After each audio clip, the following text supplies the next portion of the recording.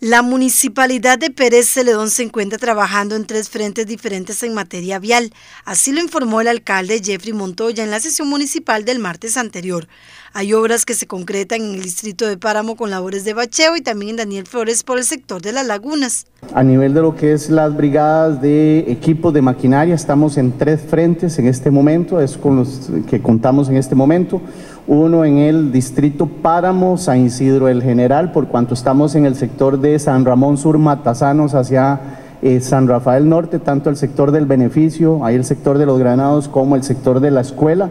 en esos eh, dos sectores, con labores igual de bacheo. Eh, estamos con otro frente en lo que es el distrito Daniel Flores, específicamente la jurisdicción de Lagunas, este, calle El Alto específicamente, ahí estamos en esa jurisdicción y otra brigada estamos Distrito Platanares en San Rafael Centro específicamente a nivel de lo que es eh, maquinaria. Em, sumado eso, em, un equipo que estuvo trabajando en el sector de Pejivalle, bajó específicamente, bajó y vagonetas en el sector del beneficio y en el Camino Viejo, en el llamado Camino Viejo que estuvimos también con un paso de alcantarillas pues el día de,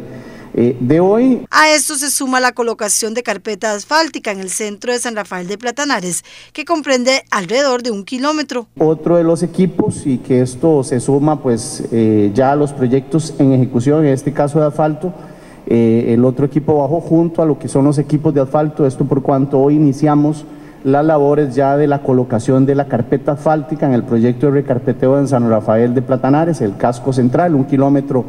que correspondía pues eh, de ejecución ahí. Recordemos que estos son recursos municipales e IFAM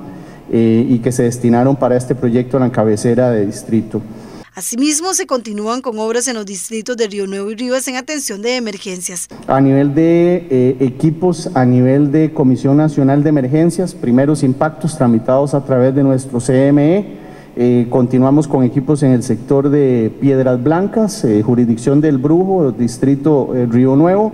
y otro equipo en lo que es distrito Riva, jurisdicción Chimirol, Chucuyo, para ser exactos. En ambos casos, pues, tanto con lo que es recuperación de, vía, de camino, en el caso de Chucuyo, y pues todo lo que es la habilitación, rehabilitación a nivel de derrumbes, deslizamientos en el sector este, de Piedras Blancas del Brujo este Río Nuevo. Esos son parte de los trabajos viales que se concretan en estos días.